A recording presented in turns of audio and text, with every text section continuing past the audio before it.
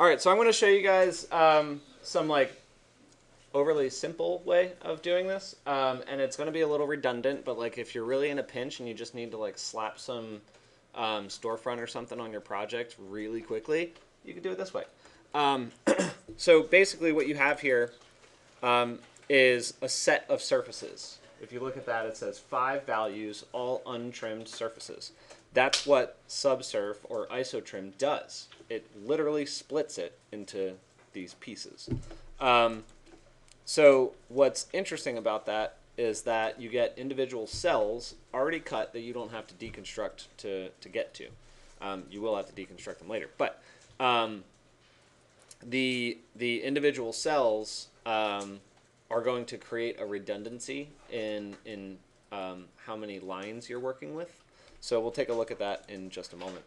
But uh, let's go to surface, and we're going to go to freeform, and uh, we're going to use pipe.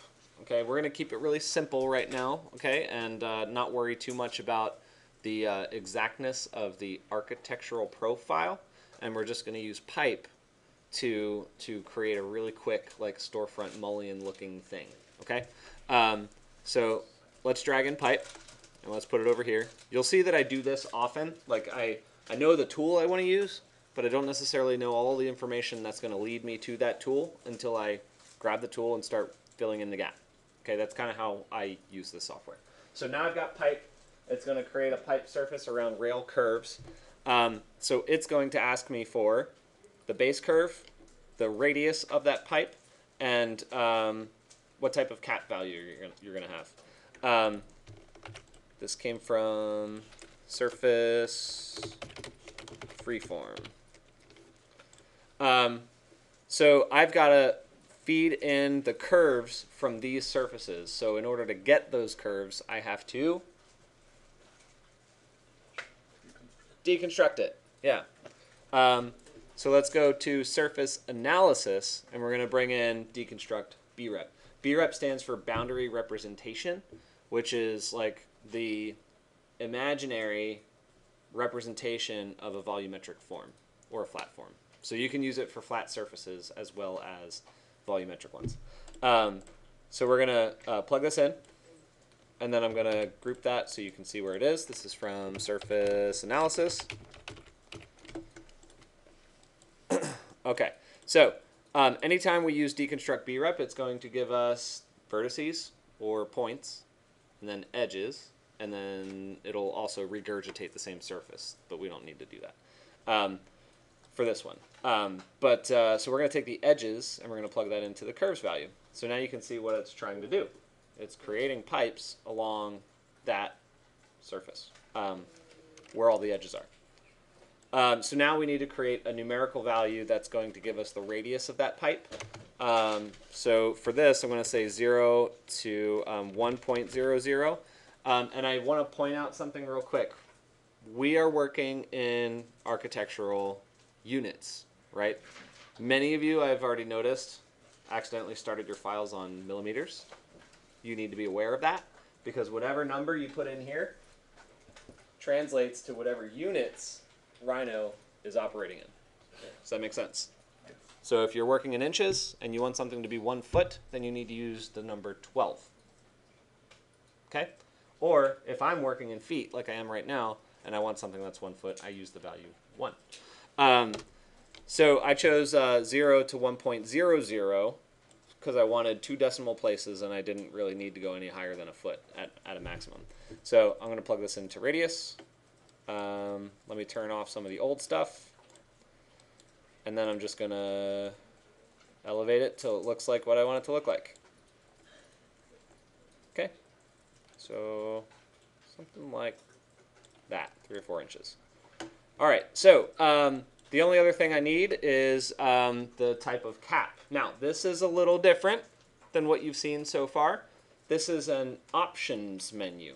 It's a different type of input it's going to ask you for a numerical input, one, two, three, so on and so forth, that's going to define how it uh, how it's set. So like here it says zero equals none, one equals flat, two equals round. you need to if I want them to be rounded at the corners, like uh, like up here. See how it's cutting it off like that? That's a no cap end. I want it to be round so that it, you know, kind of creates like a complete geometry. So I need the value of two, and I'm going to use a panel to do it. There. Now it rounded it out and made it like a storefront.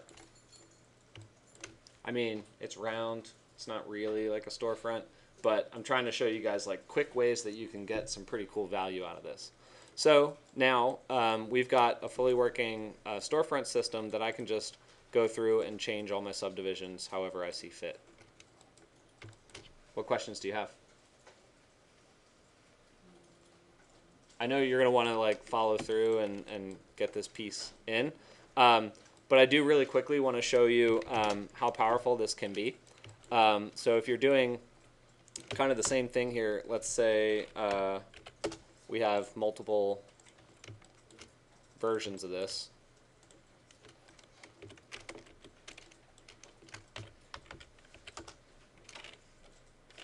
Is not how you spell copy. Um, let's say we had multiple surfaces and we wanted to do this for all of those surfaces. Um, it's really as simple as saying set multiple surfaces, and I'm going to go one, two, three, four, five, six, seven, eight, enter. It'll run. Oh wait, it broke. Um, graft. There we go. Um, so yeah, even I make mistakes. Um, so there's a prime example of of when you need to know the difference between flat structures and grafted structures. Because when it was flat, it was reading through the surfaces in sequence and then trying to apply cells to them and subdivisions to them. Um, but once you graft it and it creates a separate group for each of those surfaces and then runs this operation on each of those groups, that's how that works. Okay? So um, one, two, three, four, five, six, seven, eight. Hide. Now we've got a pretty cool facade that I can now change very intelligently.